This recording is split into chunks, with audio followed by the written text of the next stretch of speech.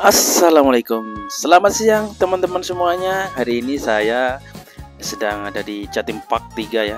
Jadi sudah beli tiket untuk saya dan semua keluarga ya. Wah ini tempatnya keren sekali. Oke teman-teman dan saya sudah beli tiket dan mau masuk ini. Jadi ini saya ke Dino Park. Dan ramai sekali karena itu hari-hari minggu ya. Dan dalamnya seperti ini teman-teman wow. Keren banget. Banyak sekali uh, dinosaurus dinosaurus yang besar-besar. Pokoknya tempatnya keren banget. Tapi saya sarankan buat teman-teman kalau ke sini jangan hari minggu ya. Karena ramai banget dan nanti antrinya panjang. Dan tempat ini cocok sekali buat kalian yang bawa anak ya. Untuk uh, untuk anak-anak untuk uh, rekreasi di tempat yang seperti ini. Oke, lanjut teman. Kita akan masuk dan ikuti terus perjalanan saya hari ini.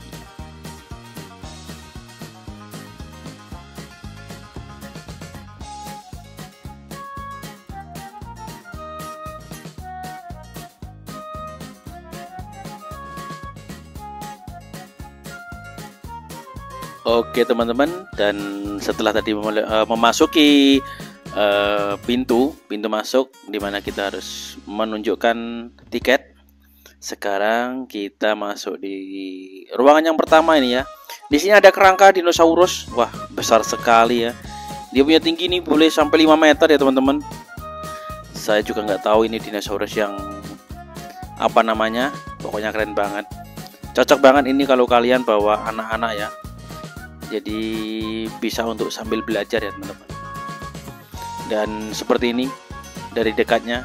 Wah keren. Oke lanjut. Sekarang kita sudah ada di dalam ya. Tempatnya keren sekali teman-teman. Bagus nih ya. Tuh lihat. Asril pun dia senang sekali di.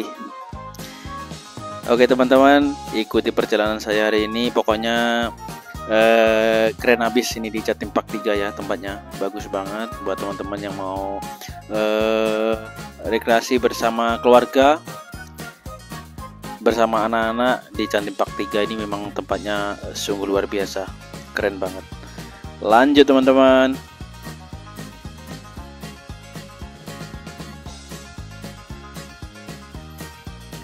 Oke teman-teman, ini si bocil ini susah banget ini dibaca foto. Diajak foto susah banget ini bocil. Dia agak malu ini masalah sini banyak orang. Ayo. Tuh, ramai sekali Lanjut teman, sekarang kita masuk ke zaman es ya. Di mana sini banyak sekali dinosaurus dinosaurus yang hidup di zaman es. Nah, binatang-binatangnya hidup di zaman es. Wah, bagus banget tempatnya meskipun ini bukan es beneran ya teman-teman tapi bagus banget tuh lihat teman-teman pemandangannya bagus banget pokoknya kalau ke sini harus kuat-kuat kaki untuk berjalan saja teman-teman. Karena tempatnya tuh luas banget dan banyak sekali dia punya tempat uh, hiburan ya teman-teman.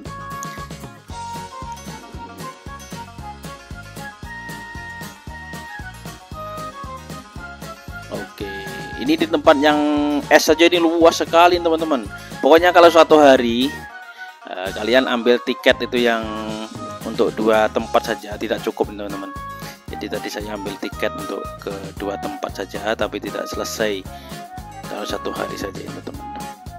Dan bukanya di Jatim Park ini pukul 11 siang ya? Sampai pukul 8 malam. Tuh lihat teman-teman. Si bocil senang sekali nih wah ada buaya. Buaya besar sekali. Oh buaya. Oke Bocil mau uh, Foto dulu ini. Tapi dia masih takut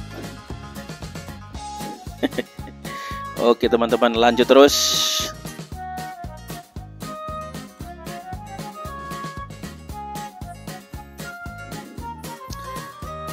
Wow dan ini binatang-binatang kutub ya. Sebenarnya bukan kutub ini cuma tempatnya dia ada dibikin seperti di kutub ya tapi binatang-binatang biasa aja ini.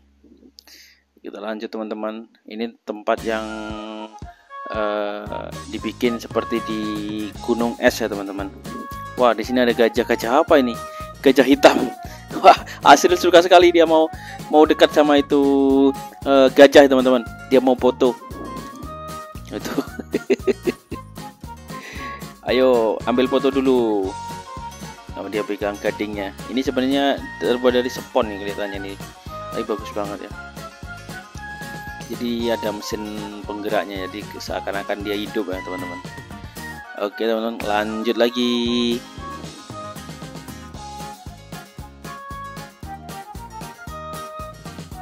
Oke, dan sekarang kita ke tempat yang kedua. Ini kita ada seperti di uh, Istana Negara ya. Istana Bogor ini ada uh, rusa dan depan sana itu kelihatan apa itu namanya? Istana uh, Istana Negara ya. Jalan Merdeka. Dan kita akan masuk teman-teman. Nanti di dalam sana banyak sekali uh, tempat uh, yang menarik ya teman-teman. Tuh lihat rusanya.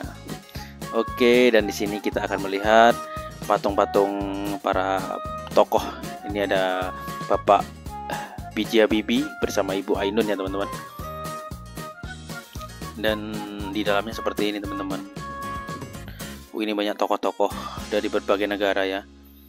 Uh, saya tidak tahu, tapi ini dari Singapura nih, dari Singapura dan ini di England ya Oke. Pokoknya ikutin terus perjalanan saya hari ini uh, rame banget nih hari Minggu ya. Oh, ini ada tokoh-tokoh dari berbagai negara. Itu ada Mbah Gus Dur. Ini dari mana ini? Thailand ya. Kalau ini dari India, Mahatma Gandhi. Mahatma Gandhi.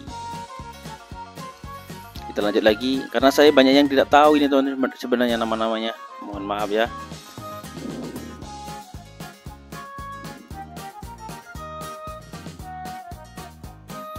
Pokoknya kalau ke sini kalian pasti puas banget nonton uh, ini apa namanya? Uh patung-patungnya. Bagus-bagus. Pangeran Diponegoro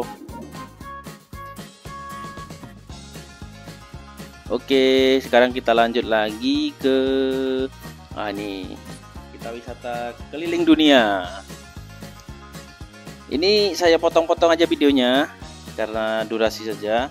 Pokoknya keren banget temannya di sini ya.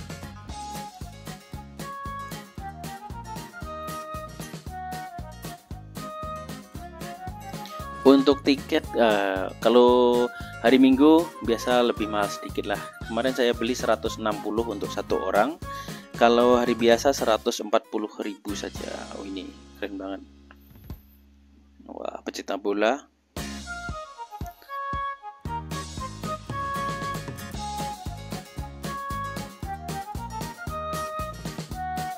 WBK pecinta tinju ada Mike Tyson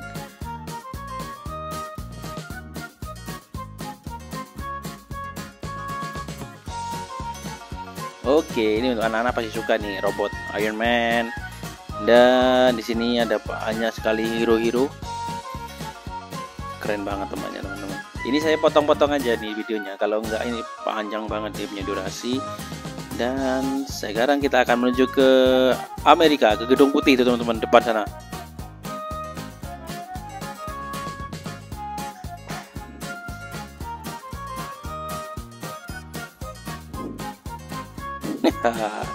ini sih hasilnya sudah sudah capek sebenarnya dia jalan dari pukul 11 dan ini sudah mau pukul uh, eh, 3 ya teman-teman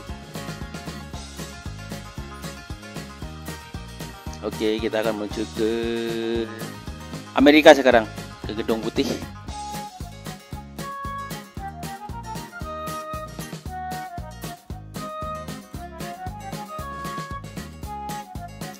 Lanjut, untuk yang belakang ini ada berbagai negara dan sekarang kita masuk ke Kerajaan Majapahit, teman-teman ya. Ini uh, Kerajaan Majapahit. Di sini ada juga berbagai negara lah. Ada USA, ada Jepang ada Korea, ada Cina, uh, ada New Zealand, banyak sekali teman-teman. Tapi saya tidak uh, ambil videonya semuanya karena saya pun sudah capek banget berjalan uh, dari pagi ya teman-teman.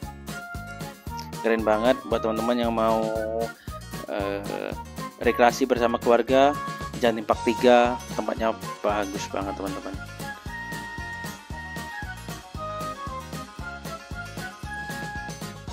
Itu lihat Korea, Jepang, Hollywood semua ada teman-teman sampai sana. Tapi saya tidak masuk karena sudah capek dan jamnya pun sudah mau pukul 3 lebih. Dan saya putuskan untuk pulang saja karena sudah capek banget